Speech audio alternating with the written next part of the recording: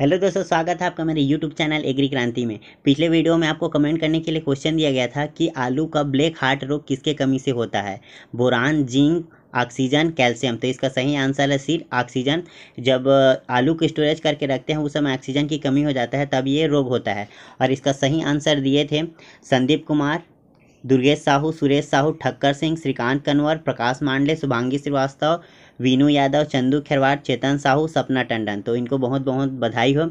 और आज की वीडियो में हम डिस्कस करेंगे हॉर्टिकल्चर का जो दूसरा ब्रांच है, पोमोलॉजी, फल विज्ञान। पहले ब्रांच जो ओरिकल्चर, सब्ज़ी विज्ञान है, उसके बारे में हम लोग डिस्कस कर चुके थे। जो वीडियो को नहीं देखे हैं तो ऊपर आई बटन को आप क्लिक करके पुराने वीडियो को देख सकते हैं। और अभी तक मेरे चैनल को सब्सक्राइब नहीं किया तो मेरे चैनल को सब्सक्राइब करें और बेल आइकन को प्रेस करें ताकि मेरा न्यू वीडियो आपको का नोटिफिकेशन आपको मिलते रहे। थैंक यू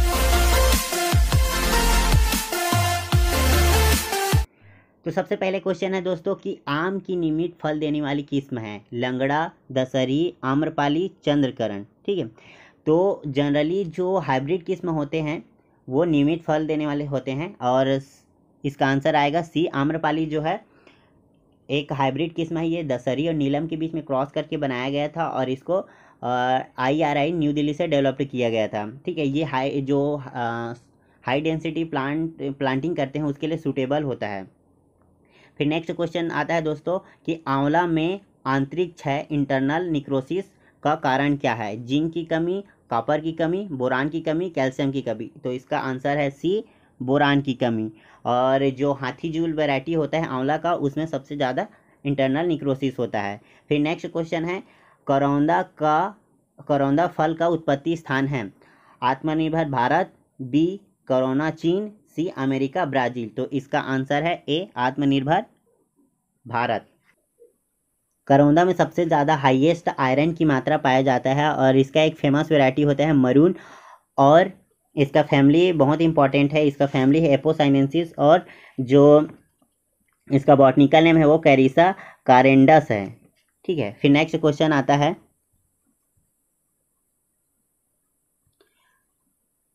गोला किस फल की अगेती किस्म है? आम, बेर, पपीता, आंवला। तो इसका आंसर आ जाएगा। बी बेर का गोला जो है, गोला हो गया, सेब हो गया, ये अगेती किस्म है। उमरान जो है, वो पछेती किस्म है बेर का। फिर नेक्स्ट क्वेश्चन आता है, सामान्यतः फलों का स्वभाव होता है। बेसिस एसिडिक न्यूट्रल नॉन तो इसका आंसर आ जाएगा। बी एसिडिक जनरली जो फल का स्वभाव होता है वो एसिडिक होता है। फिर नेक्स्ट क्वेश्चन आता है, नींबू वर्गीय फलों में होने वाले कैंकर कहाँ से भारत आया? आया था। A Mexico B corona China C Japan D हो गया यूएसए तो इसका आंसर आ जाएगा डी यूएसए से आया था। ठीक है, इसका आंसर आएगा डी यूएसए से आया था। और जो कैंकर डिसीज़ होता है ये बैक्टीरिया से होने वाला रोग है, और बैक्टीरिया का नाम है जेंथोनास कम्प्रेस्टिस, और ये लीफ माइनर जो इंसेक्ट होता है, उसके द्वारा ट्रांसमिनेट होता है। फिर नेक्स्ट क्वेश्चन आता है, फलों का फटना किस फल का एक प्रमुख समस्या है? ठीक है, क्वेश्चन क्या है? फलों का फटना किस फल का एक प्रमुख समस्या है? लीची, बेर, चेरी, उपयुक्त सभी। तो इसका आंसर आ जाएगा डी, उपयुक्त सभी। और फलों का फटना जनरली बुरान की कमी से होता है। फिर नेक्स्ट क्वेश्चन आता है कि गणेश, भगवा अमली दाना ढोलका किसके प्रमुख किस्म हैं? बेल, अनार, बेर, अंजीर। तो इसका आंसर आ जाएगा बी, बेर। ये आईएमपी है। बी, अनार, ये गणेश हो गया, भगवा हो गया अमली दाना ढोकला, ये उसका किस्म है। ये गणेश किस्म को आर एच के एग्ज़ाम में पूछा गया था कि किसका किस्म है। तो याद रखिएगा ये अनार का किस्म है। फिर नेक्स्ट क्वेश्चन है, केले का पुष्प क्रम कहलाता है। Panicle, spike, spadix, raceme. तो इसका आंसर आ जाएगा सी, स्पेडिक।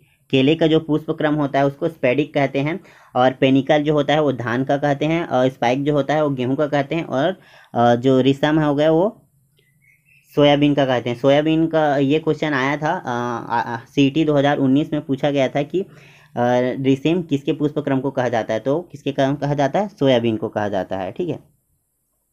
फिर नेक्स्ट क्वेश्चन आता है, बेर का प्रसारण विधि है प्रोपोगेशन मेथड्स क्या है? Veneer grafting runner ring budding patch budding तो इसका आंसर आ जाएगा सी रिंग बडिंग ठीक है बेयर का प्रोपोगेशन मेथड से है रिंग बडिंग और विनर ग्राफ्टिंग है, वो आम का है. रनर जो है स्ट्रॉबेरी है. इसको बी एच में पूछा गया था 2018 में. और पैच बेडिंग हो गया. ये आर आर एच ओ में क्वेश्चन आया था. ये बेल में होता है. फिर नेक्स्ट क्वेश्चन है, आम का खाए जाने वाला भाग कौन सा है? ठीक है, आम का खाए जाने वाला भाग कौन सा है? ए, बाहरी फल भित्ति पेरिकार्प, बी अंतफल भित्ति इंडोकार्प, और सी है मध्य फल भित्ति मेजोकार्प, और डी है थैलेमस। तो इसका आंसर आ जाएगा सी, मेजोकार्प। मध्य भित्ति को, मध्य भित्ति को आम का खाया जाता है, ठीक है? जो पेरिकार्प होता है, वो बेर का खाया जाता है, एंडोकार्प होता है, वो नारियल का खाया जाता है, और थैलेमस जो होता है, ये सेब, एप्पल का खाया जाता है। फिर नेक्स्ट क्वेश्चन आता है कि फलो कटहर का फल का प्रकार है। कटहर का फल का प्रकार है बेरी ड्रूप सोरोसिस, साइकोनस। तो इसका आंसर है सी, सोरोसिस। ठीक है पाइन हो गया और जैक फ्रूट हो गया, कटहल। इसका सोरोसिस है, बेरी जो होता है, ये हो गया, केला हो गया, पपीता हो गया और अंगूर हो गया, इसका कहलाता है ड्रूप जो होता है आम का कहलाता है बेर का कहलाता है, जामुन का कहलाता है साइकोनस होता है, वो फिग अंजीर का कहलाता है। ठीक है मतलब फल का प्रकार है। फिर नेक्स्ट क्वेश्चन है, इनमें से कौन सा नॉन क्लाइमेटिक फल है? नॉन क्लाइमेटिक मतलब ऐसे फल जिनको तोड़ने के बाद पकाया नहीं जा सकता, और क्लाइमेटिक फल जिसको तोड़ने के बाद पकाया जा सकता है। तो ऑप्शन है आम पपीता, केला, नींबू तो नॉन क्लाइमेटिक इसमें से फल है, वो है नींबू। नींबू को तोड़ने के बाद पकाया नहीं जा सकता, नींबू सूखने लगता है। फिर नेक्स्ट क्वेश्चन है, अंगूर में होने वाले हैन एंड चिकन रोग किसके कमी से होता है? Zinc, calcium, boron, nitrogen. तो ये इसका आंसर है बी, ए, सी, बोरान की कमी से होता है। फिर नेक्स्ट क्वेश्चन है, कौन से फल वृक्ष में अधिक काट छाट की आवश्यकता होती? काट छाट मतलब प्रूनिंग की आवश्यकता होती है। तो ऑप्शन है बेर, अमरूद फालसा अंगूर। तो इसका आंसर आएगा, बेर में सबसे ज़्यादा काट छाँट की ज़रूरत होती है। ठीक है, फिर नेक्स्ट क्वेश्चन है, सेब के फलों में बीटर पीस की तत्व के कमी के कारण होता है। Boron, calcium, manganese, sulphur. तो इसका आंसर है बी, कैल्शियम की कमी से। फिर नेक्स्ट क्वेश्चन है कि नींबू का वानस्पतिक नाम क्या है? Citrus sinensis citrus aurantifolia citrus reticulate तो इसका आंसर आ जाएगा बी सिट्रस और एंटीफोलिया ठीक है? बी और सिट्रस जो साइनेंसिस होता है ये होता है संतरा का सॉरी मौसम्बी का और रे, सिट्रस रेटिकुलेट होता है ये संतरा का होता है। फिर नेक्स्ट क्वेश्चन आता है कि किस रोपण विधि में सर्वाधिक संख्या में फल वृक्ष रोपित किए जा सकते हैं? ऑप्शन ए वर्गाकार विधि ऑप्शन बी षष्टभुजाकार विधि ऑप्शन सी है फिलर मेथड्स पूरक विधि और ऑप्शन डी है कंटूर विधि।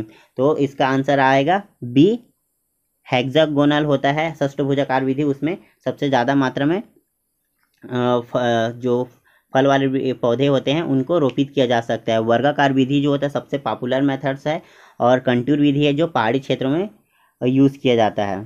फिर नेक्स्ट क्वेश्चन आता है, कच्चे पपीते से प्राप्त होने वाले पेपन हैं। वृद्धि नियामक ग्रोथ रेगुलेटर लेटेक्स पोषक द्रव्य न्यूरोटेटिव लिक्विड और डी इनमें से कोई नहीं। तो इसका आंसर आ जाएगा बी लेटेक्स जो कच्चे पपीता से प्राप्त होने वाले पेपन है, वो लेटेक्स है। ये एग्रीकल्चर जो टीचर का एग्ज़ाम है, उसमें पूछा गया था। फिर नेक्स्ट क्वेश्चन आता है नेशनल हॉर्टिकल्चर बोर्ड कहाँ स्थित है? नागपुर, महाराष्ट्र, सोलन हिमाचल प्रदेश, सी हरियाणा गुड़गांव, हरियाणा और डी है वाराणसी, यूपी। तो इसका आंसर आ जाएगा सी, गुड़गांव, हरियाणा में है। और नागपुर में है, जो सिट्रस का रिसर्च सेंटर है, सोलन में मशरूम का रिसर्च सेंटर है और वाराणसी में वेजिटेबल का रिसर्च सेंटर है। इस क्वेश्चन का आंसर दोस्तों आपको कमेंट बॉक्स में देना है कि विश्व में सबसे ज़्यादा फल उत्पादन कौन सा देश करता है? ए, आत्मनिर्भर भारत, बी, कोरोना, चीन सी, जापान, डी, मैक्सिको। ठीक है दोस्तों, अगर क्वेश्चन अच्छे लगे होंगे वीडियो को करें लाइक और चैनल को करें सब्सक्राइब और पास के बेल आइकॉन को प्रेस कर दें ताकि मेरा न्यू वीडियो का नोटिफिकेशन मिलते रहे और हर ट्यूसडे और सैटरडे मेरा न्यू वीडियो देखते रहें। Thank you thank you for watching